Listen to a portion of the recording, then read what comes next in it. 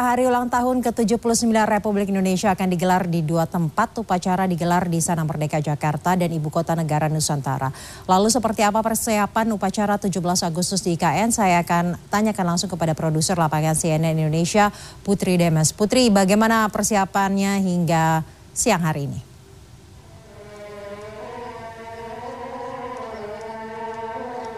Ya, selamat siang Sasa. Mohon maaf saya tidak bisa mendengarkan pertanyaan Anda dengan jelas. Namun kalau Anda bertanya mengenai bagaimana sebenarnya kesiapan IKN terutama yang dinanti-nantikan oleh semua orang adalah kesiapan menuju 17 Agustus. Sebenarnya kami, ini tim CNN Indonesia baru saja tiba kemarin sore di Balikpapan kemudian langsung menuju ke IKN dan kami baru saja mengunjungi beberapa tempat dan saya akan tunjukkan kepada Anda sebenarnya kalau kita bicara IKN maka e, ibu kota Nusantara ini bukan hanya yang kita nantikan di 17 Agustus tetapi bagaimana e, eh, IKN ini benar-benar bisa menjadi ibu kota negara baru yang akan terus berkembang. Dan karena pada mulai awal saat Undang-Undang Nomor 3 Tahun 2022 ditetapkan e, atau ini yang berisi mengenai Undang-Undang Ibu Kota uh, negara yang baru ini mengatakan bahwa mulai dari tahun 2022 sampai 2024 adalah tahap satu atau tahap awal dari seluruh pembangunan IKN sehingga masih ada sampai pembangunan di tahun 2045 dan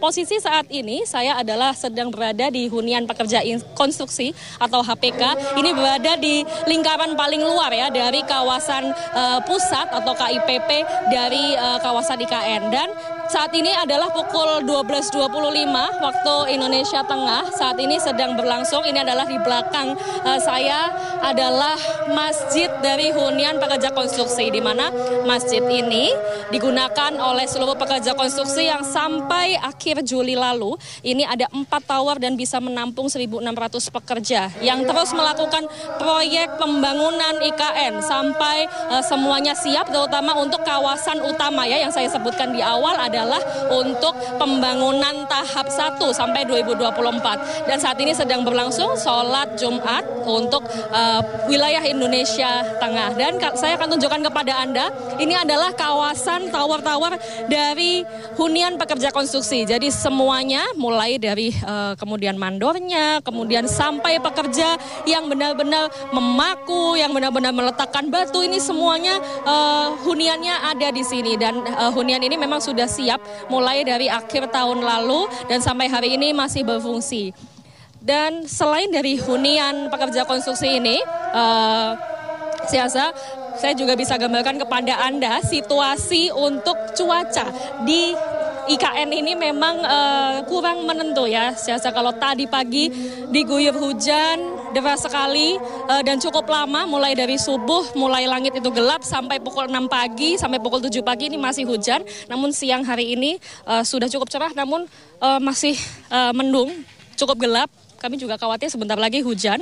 Namun uh, kalau tadi kami juga sempat mewawancarai uh, wakil uh, wak, PLT wakil OIKN Raja Juli Antoni yang mengatakan bahwa sebenarnya untuk 17 Agustus untuk upacara di kawasan uh, Sumbu Kebangsaan atau Plaza Seremoni lapangan utama kemudian istana negara ini memang sudah siap 100% seperti yang sudah uh, kemudian bisa dilihat oleh masyarakat sudah tersebar di berbagai media bahwa semuanya untuk upacara 17 Agustus ini sudah siap. Walaupun uh, cuacanya tidak menentu sering kali hujan kemudian jalanan karena masih banyak kendaraan berat yang lewat maka masih banyak jalanan tanah yang akan uh, dilalui oleh masyarakat.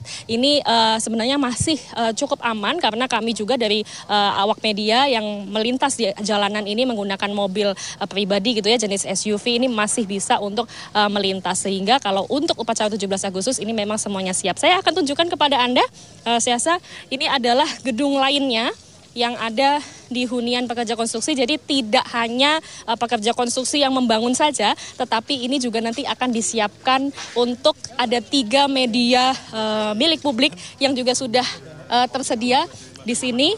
Uh, kemudian uh, ini juga menjadi gedung yang kami gunakan untuk awak media untuk saat ini. Kami tadi uh, diajak berkeliling oleh uh, pihak humas dari otorita ibu kota Nusantara Siasa.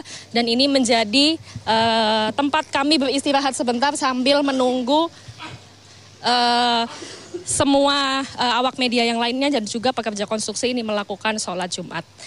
Ya, saya akan tunjukkan kepada Anda ini saya ini harus buka sepatu karena ini kawasannya cukup bersih ya lantainya. Jadi uh, karena juga pekerja konstruksi uh, jalanannya berlumpur. Kalau hujan seperti ini sudah pasti kotor jadi kita jaga kebersihan ya. Ya, kita akan ajak ini bersama fotojurnalis Maria Oktober akan tunjukkan kepada Anda. Jadi ini kalau kita begitu masuk ada toilet pria dan wanita yang sudah tersedia. Kemudian saya memisi masuk ya, Mbak. Ya, ini tempat kami beristirahat saat ini, Siasa.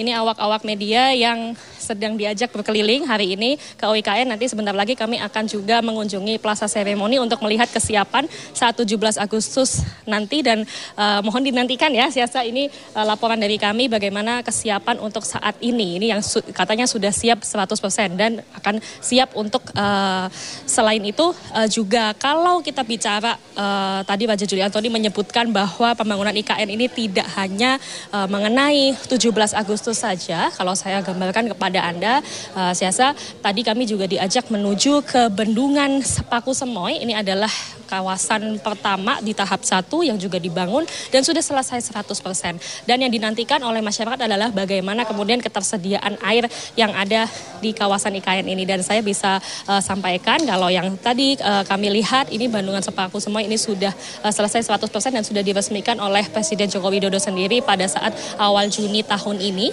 Kemudian juga uh, walaupun proyeknya ini baru berlangsung 2020 namun di dalam uh, jangka waktu 3-4 tahun ini sudah selesai.